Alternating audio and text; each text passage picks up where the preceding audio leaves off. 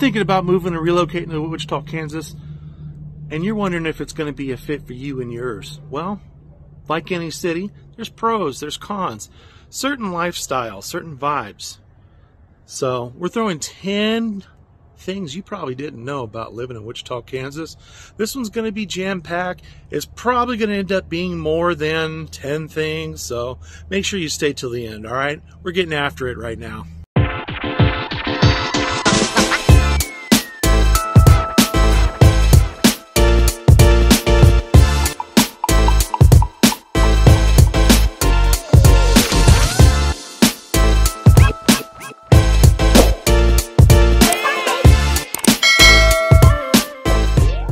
Always, do me a solid. If you get any value out of this, like, comment, subscribe, hit the bell so you're notified when we kick these videos out each and every week.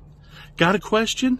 Reach out. I can't read your mind. Call, text, email, send the carrier pigeons, whatever you got to do to get the help you need. I'm helping people each and every day. I love it. Morning, noon, night, weekends, I got you back. Wichita Metro and the surrounding areas. Real estate only, please. Plugs aside, we're getting after it right now. We're just going to throw two in this first one right off the bat. if you got allergies, you're going to have a challenging time here. Whether it's the windy weather or we're talking all the all the various pollen from the trees, from the grass, from the weeds. The way the weather works around here, you know, it's kind of hit and miss. More times than not, it just kind of seems like uh, that pollen is just not having any issues traveling.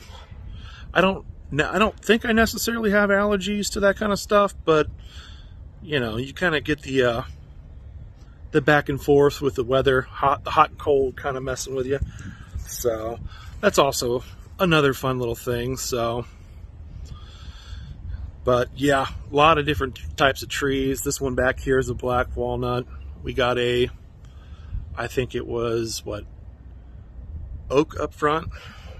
It's just a lot of different, a lot of different types of trees.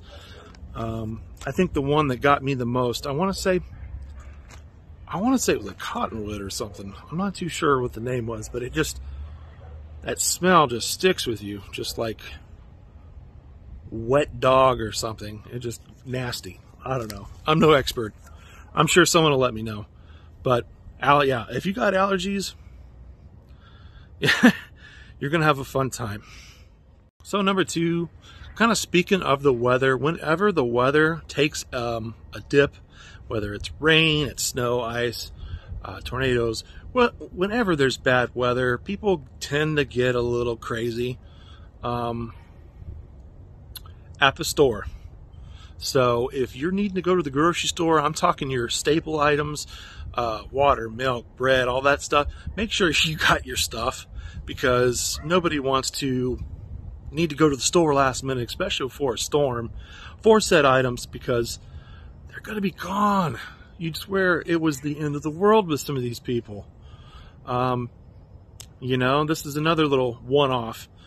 The driving is the same you know?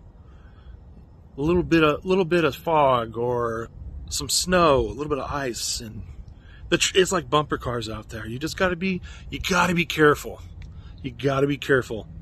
The weather people out in the weather um, i know I've, I've stated here before the weather it's so hit and miss here you know? But these are these are things you want to learn learn from our uh, our mistakes. Three, I know this is one I've I've talked about before.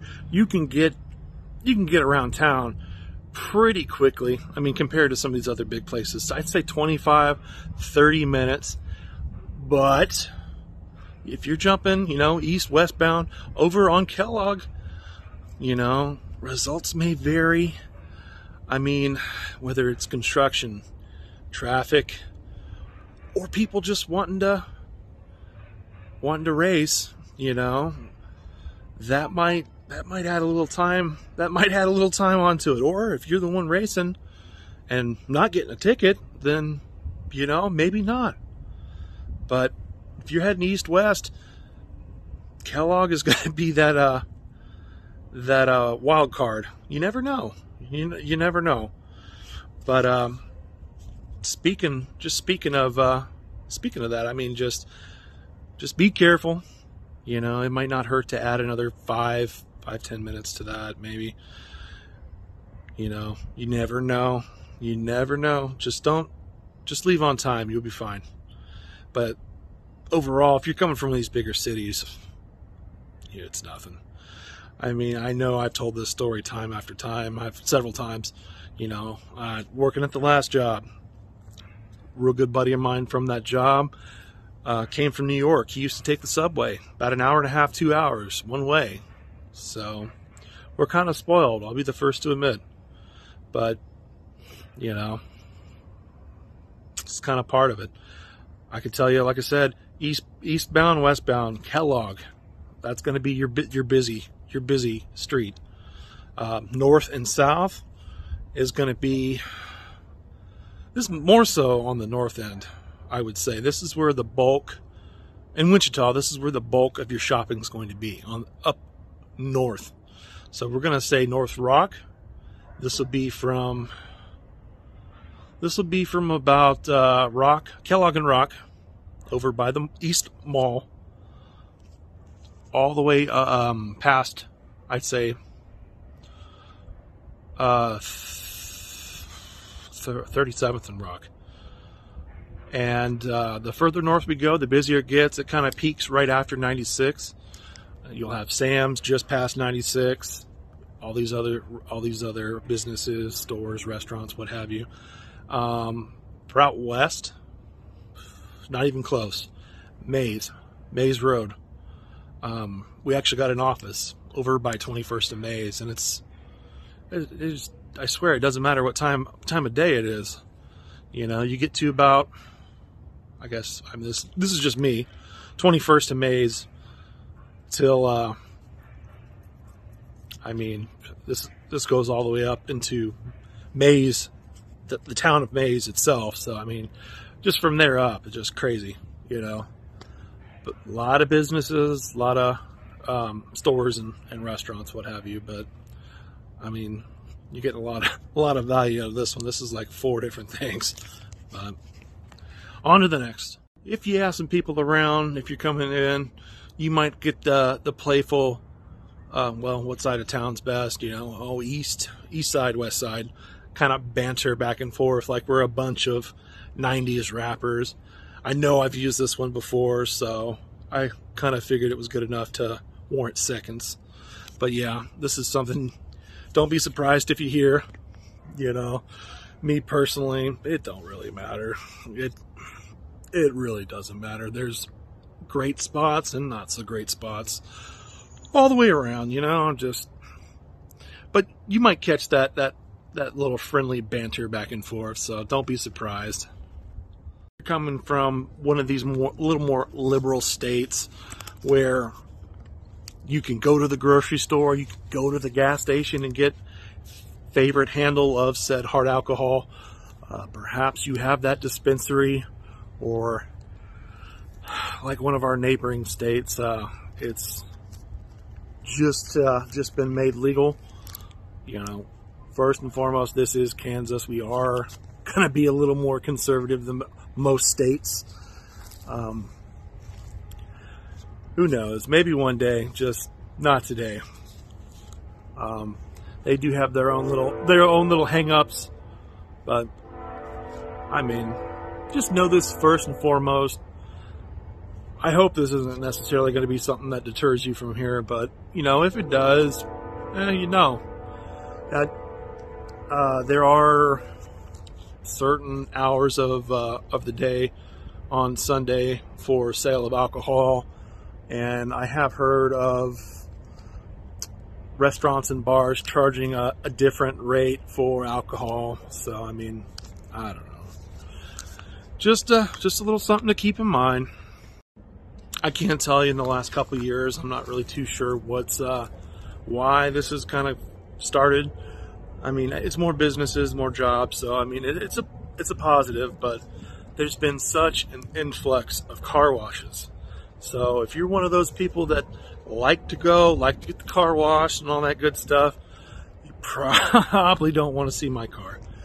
Uh, we still got we still got uh, all the dirt and grime on it from last month, so uh, something to work on. Always uh, always something to work on, but there is no shortage of car washes. So you know, little something, little something. You got options all the way around. It's they're everywhere. Like number six, I kind of jumbled, I kind of jumbled some of them together to kind of make this one just a tad bit shorter. But um, we do have a food tax here, and as of January 1st, that food tax uh, went from uh, what was it? The tax on that was six and a half percent, and it's gone down to four. Now, don't ask, don't. I'll, I'll throw, I'll throw a little something in there to cut uh, news news article for that one. I'm not even going to pretend I know. From what little bit I had seen, like the numbers kind of vary, but it looked like prepared foods we're not going to get this and we're we're not going to get this rate it's like two different rates so your prepared stuff was going to be at the old rate, and then your unprepared stuff was going to be at the new rate or something along those lines. I'll I'll plug something in the description for that, but it might not might not sound like a big deal, but you know, it's something oh, you got to eat. Nobody nobody's going without. Come on now, you know, and that might not seem like a whole lot, but it adds up gets expensive. You know, this is just this is this is important.